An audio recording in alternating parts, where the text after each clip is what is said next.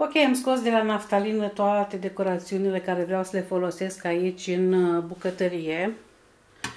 Așa, uh, am curățat rafturile astea, le-am dezinfectat și acum urmează să le uh, aranjez frumos. Nu sunt astea, mai am și aici câteva pe partea asta. Să vedem cum le cum reușesc să le pun. Am și acolo sus ceva de pus, dar uh, sunt cutiile cu celelalte decorațiuni. Da, și acum am apuc de uh, să le amplasez, să vedem ce îmi iese. Cam asta.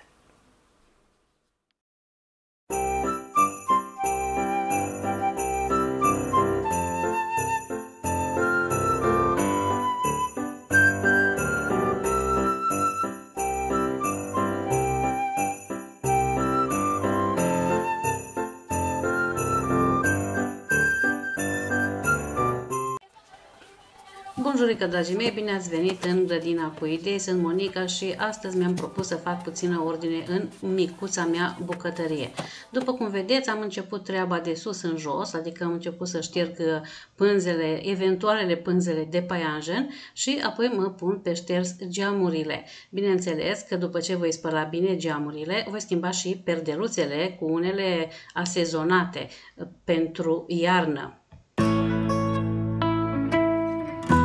Dacă este un noroc sau un ghinion, dar ferestrele de la bucătăria mea sunt destul de mari, așa că necesită ceva timp până să le curăț.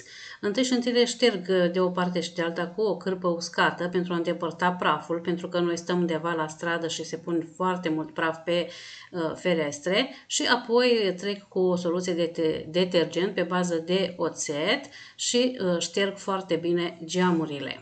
Așa cum vă spuneam, o să schimb și perdeluțele, le voi înlocui pe acele care le-am adus din România cu altele de culoare verde, care mi se pare mie că se asortează mult mai bine cu sezonul de iarnă, pentru că în mare parte voi folosi și decorațiuni cumva de culoare verde.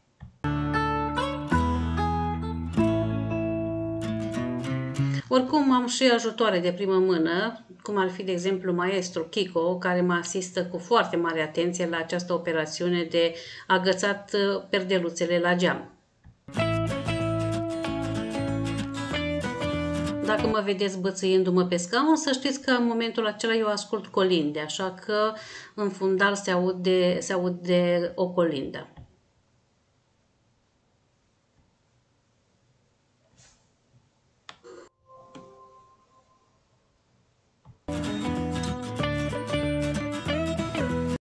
Trebuie să prind perdeluța cu un cârlic de rufe pentru că altfel se blochează ieșirea motanului în balcon. Observați că acolo jos am o găurică prin care motanul iese în balcon atunci când are el chef.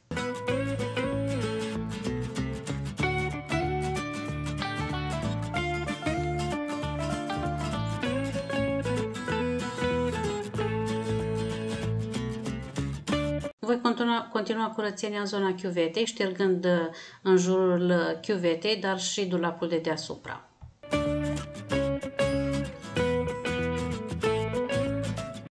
În toată bucătăria am folosit același detergent. Este vorba de un amestec de apă și oțet care curăță destul de bine și nu lasă urme. Vreau să vă spun că am folosit această soluție chiar peste tot, așa că vă recomand. Soluția se numește Rio și am cumpărat-o de aici din uh, Italia, dar mă gândesc că mai sunt și altele pe piață, tot așa în uh, amestec apă cu oțet. Eu zic că oțetul este dezinfectantul și detergentul cel mai potrivit în toate gospodăriile. Așa că dacă ar fi după mine, mi-aș cumpăra kilograme de oțet ca să le folosesc atunci când fac curățenie.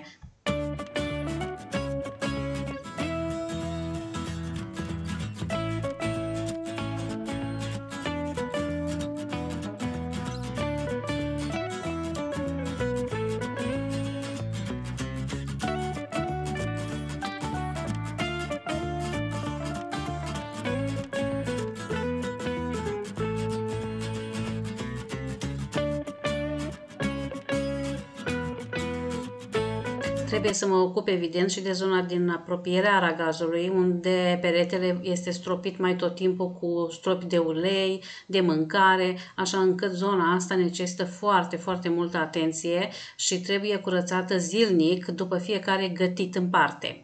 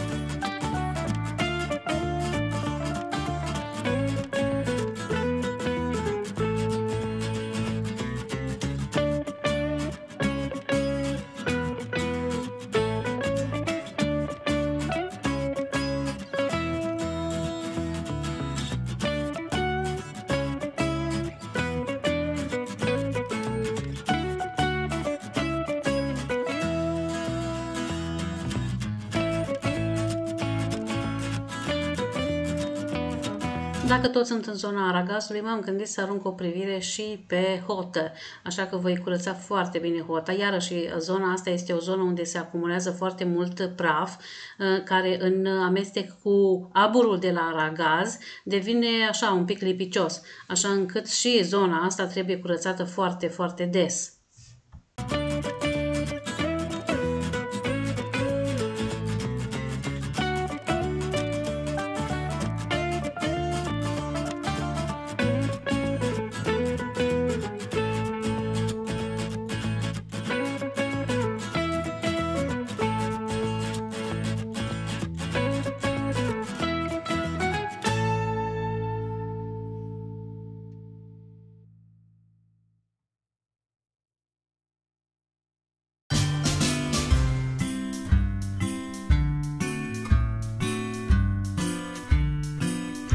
Clar că voi curăța tot ce este de curățat, dulapuri, ușile de la dulapuri, în interior, voi dezinfecta chiar tot, inclusiv rafturile de pe peretele celălalt pe care am amplasat acolo tot felul de pahare și tot felul de borcănere.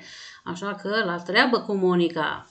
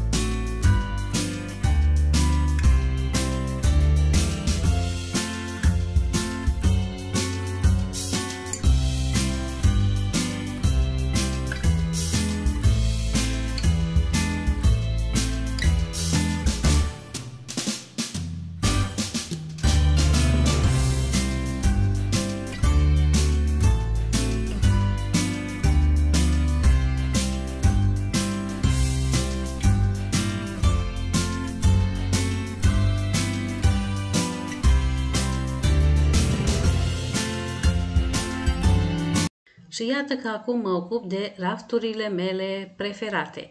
Țin să vă spun că aceste rafturi le-am de ani de zile, le-am avut în vechiul apartament, dar am ținut neapărat să le aduc și aici. Și mie mi se pare că se încadrează foarte bine în micuța mea bucătărie, lucru care, bineînțeles, mă face să le decorez cu fiecare ocazie.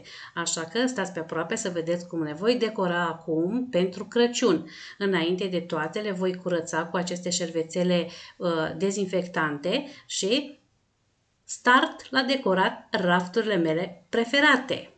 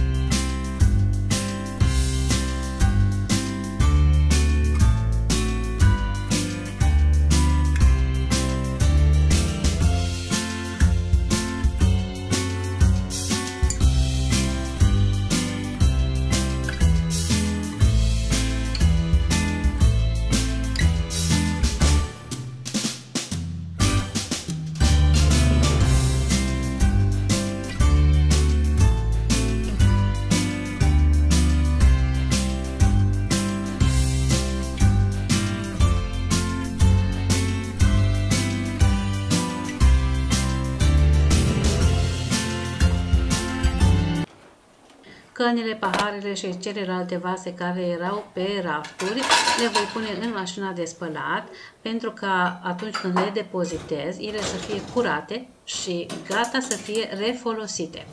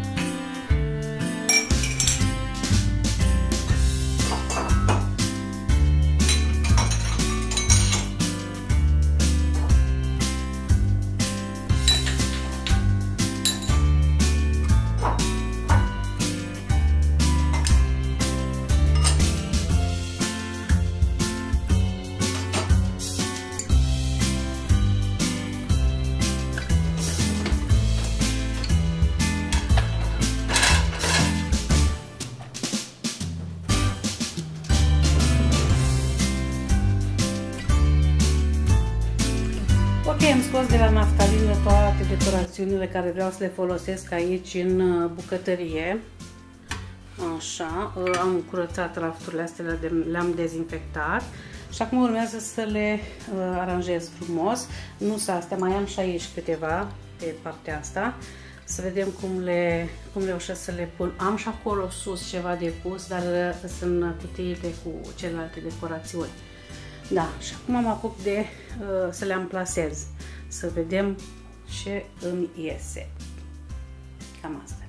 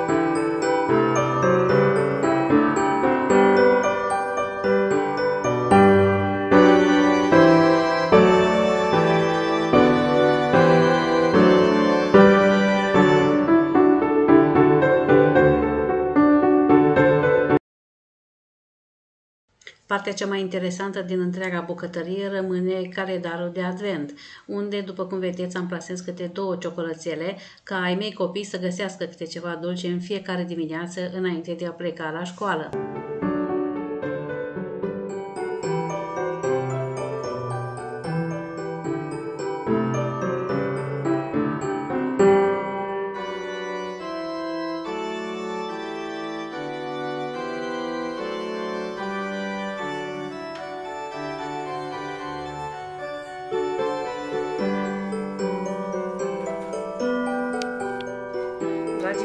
Să vă arăt ce anume am, cum am decorat de fapt aici în bucătărie.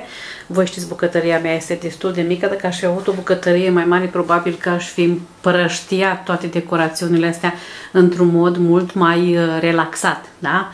Și haideți să vă arăt.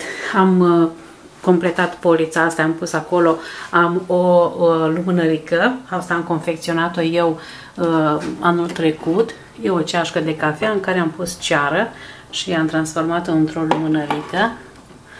Așa mi-a plăcut imprimeul ăla cu Moș Crăciun. Apoi aici am lăsat așa pentru că nu mă pot despărți de borcanele astea pentru că sunt superbe, mi-e plac foarte mult.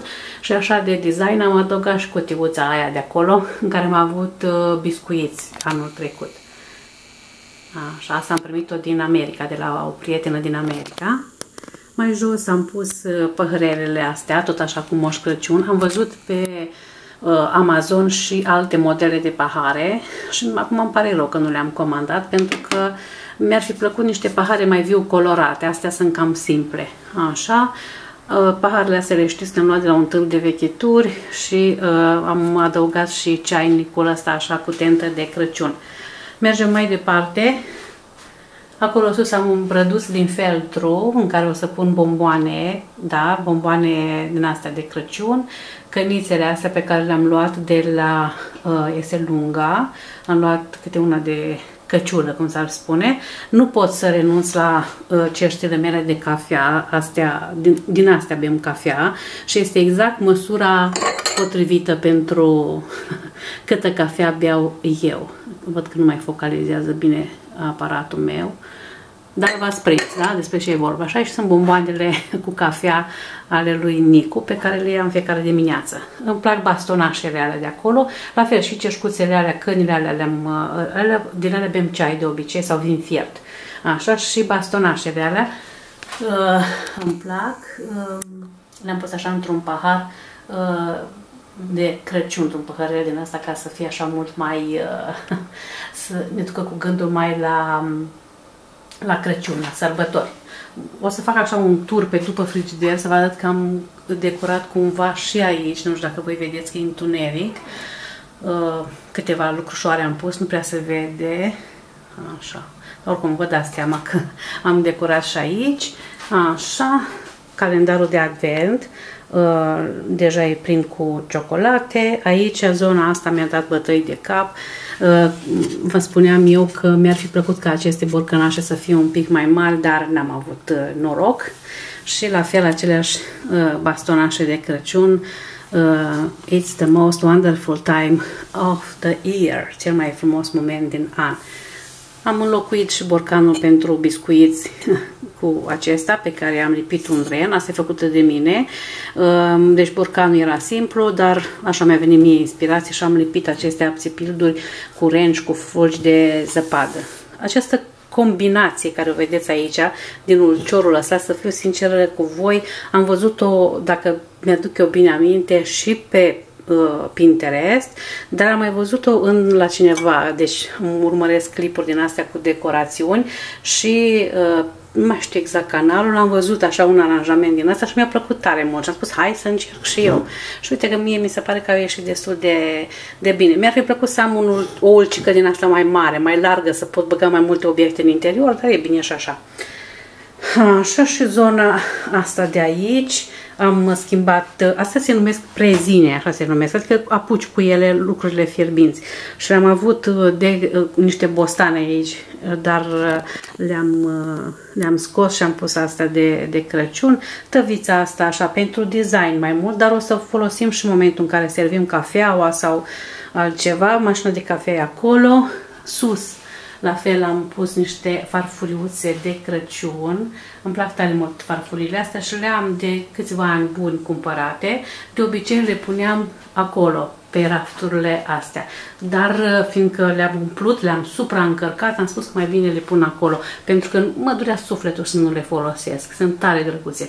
Și acolo deasupra, unde vedeți tablouașul ăla și mai am un spațiu și în partea, am niște tablouașe pe care le am în cutii deja, trebuie să decorez și în, uh, în sufragerie.